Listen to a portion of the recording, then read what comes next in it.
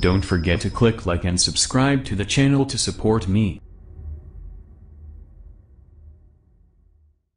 Food chain of a pond ecosystem, diagram and facts. In every natural environment, biological patterns exist to maintain a balance. When a distinct set of patterns, some of which are readily observable, are present, an ecosystem is able to function and persist as a singular and complex unit. One of the most fascinating elements of an ecosystem is the food chain that governs the flow of energy. Even in freshwater ponds that are hardly larger than an oversized puddle, a distinct pattern of energy or food distribution applies.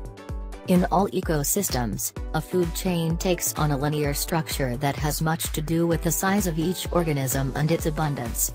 Every link on this chain consists of a trophic level that is composed of biotic components. When a single level is disrupted, a cascade reaction can occur, resulting in significant changes in the abundance of other organisms and resources. For example, when tadpoles become present in large numbers each spring, more predators can survive in the pond as a result of the increased availability of proteins. The typical pond food chain is much more complex than just simple predator-prey relationships. It involves microorganisms that must generate their own food when a sufficient set of nutrient building blocks are available. It also involves microbes that are responsible for breaking down waste to free up these same building blocks. Primary source of energy in ponds, sunlight. At the very base of the pond food chain are plants and microorganisms that rely on sunlight to survive. Thus, light is a limiting factor that largely determines the abundance of a pond's biotic components. All throughout the water column, an incalculable number of photosynthetic organisms compete with one another for access to sunlight. When provided with adequate light exposure, they can assimilate the nutrients that are found throughout the water column. Unlike photosynthesizing organisms, photoautotrophs, that are found on land, those in a pond benefit from the fluid nature of their environment. Instead of having to tap into a network of nutrients found in the ground, they have adaptations that mediate nutrient sequestration from the surrounding water. In freshwater systems that are perpetually cast in darkness, such as those in subterranean environments, microbes, chemoautotrophs, have adaptations that allow them to break down chemical compounds such as hydrogen sulfide. The majority of nutrients still need to enter the pond from a sunlit source, however. Trophic levels in freshwater ponds. Primary producers. Freshwater ponds are rich in primary producers, without which the entire food chain would cease to exist. These humble organisms play an extremely important role as they are the only pond inhabitants that are equipped with the mechanisms to produce their own food. As primary producers, aquatic plants can go from exceedingly tiny to large. In contrast, microbial producers are extremely small and will generally be present in numbers that are exponentially greater than those of consumers and decomposers. Primary producers make their food through photosynthesis or chemosynthesis. Some can switch between these mechanisms of production depending on the availability of light, nutrients, and chemicals. In ornamental and wildlife ponds, the typical components of this trophic level include submerged, marginal, and floating plants, along with algae and cyanobacteria. When there is an influx of nutrients, from fish waste, effluents, eroded soil, etc., the abundance of primary producers can increase to potentially harmful levels. Primary producer populations are usually kept in check or balanced out by competition amongst themselves, regulated amounts of nutrients, and the presence of primary consumers. A typical example of imbalanced productivity is the occurrence of harmful algal blooms, Avoid this scenario in your own pond by conducting routine water parameter tests and water changes. Well-maintained plants, which can aid in filtering excess nutrients out of the water and competing with phytoplankton for sunlight, are also key to keeping a balanced pond ecosystem. In freshwater ponds, primary consumers are usually herbivores or omnivores. They are fairly small in size, though they are more likely to be seen by the naked eye compared to microbial producers. These include zooplankton, young tadpoles, fry and juvenile fish, snails, and water fleas. There are large primary consumers as well. These include herbivorous fish such as plecos and grass carp. Secondary and tertiary consumers. Secondary consumers are generally carnivorous. Some are omnivorous and can switch between being key components of primary and secondary trophic levels. They must be larger than primary consumers, which are their main sources of nutrients. In freshwater ponds, secondary consumers range in size from young gobies and small amphibians to enormous sturgeons. Several bait fish fall under this category. They are extremely important in every pond's food web as they link larger predators to the more abundantly occurring primary consumers. Further up in the food chain are tertiary consumers.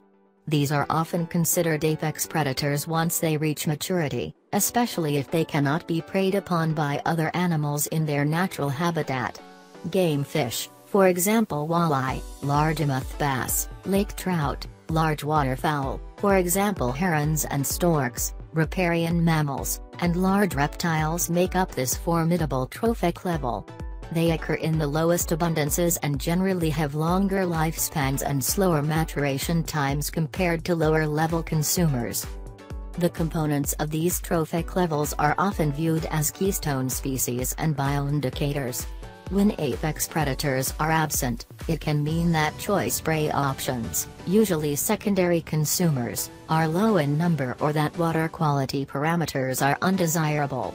This can eventually result in an increase of secondary consumers, followed by a decrease of primary consumers, and so forth. Decomposers Decomposers are considered the final part of a food chain as they can obtain nutrients from the spoils and remnants of all consumers. The linear flow of energy ends with them as they break down organic materials to free up nutrients once more. In some cases, decomposers are not placed at the end of a food chain as they cannot be categorized as a higher trophic level. There are, indeed, some exceptions in the case of large scavengers. This group can also be composed of animals that may be categorized as producers, such as bacteria, and consumers. In a detrital food chain, or one that begins with nutrients obtained from dead, organic matter, decomposers are found at the base of the chain. The most common decomposers in freshwater ponds include bacteria, fungi, insect larvae, small crustaceans, worms, and snails. An extremely vital yet sometimes underappreciated component in freshwater ecosystems, decomposers keep the environment healthy. Without them, animal carcasses and waste would pile up, causing scenarios of anoxia and mass mortalities. Their absence would also prevent nutrients from becoming available to primary producers. In fact, they give food chains a cyclical instead of a strictly linear nature the food chain in an ornamental pond. In a tightly regulated environment, such as an ornamental pond, the food chain is rather simplified. Depending on the extent of control, some trophic levels may be very sparsely populated. For example, in fully lined outdoor ponds with minimal plants and heavy filtration, consumers apart from ornamental fish may be present in low numbers. What you would need to watch out for are external predators that may feed on your precious fish, sustaining the food chain of a larger ecosystem where the pond is simply a microhabitat. The fish themselves may not necessarily be considered key links within the food chain of the pond itself if they are artificially fed. Nonetheless, they serve as regular contributors of waste nutrients to the pond system.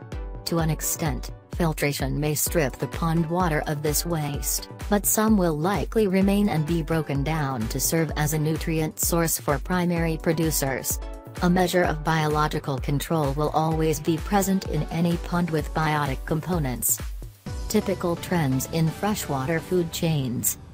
Below are some principles that apply to most pond ecosystem food chains.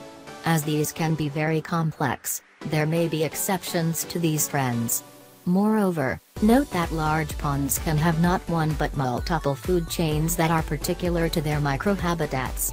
These all interact with one another to build a food web with connections that can rival the complexity of those found in lakes.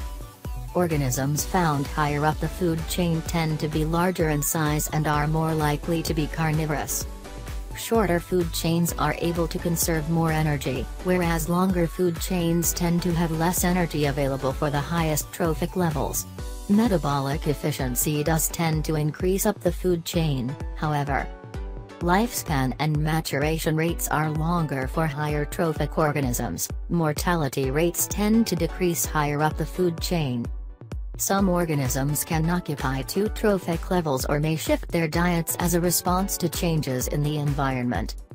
Photoautotrophs are generally found at the base of every pond food chain, a significant alteration of population abundances for organisms in one trophic level tends to have a cascade effect on the rest of the food chain. Similarly, a change in the availability of a resource may have a bottom-up effect. effect.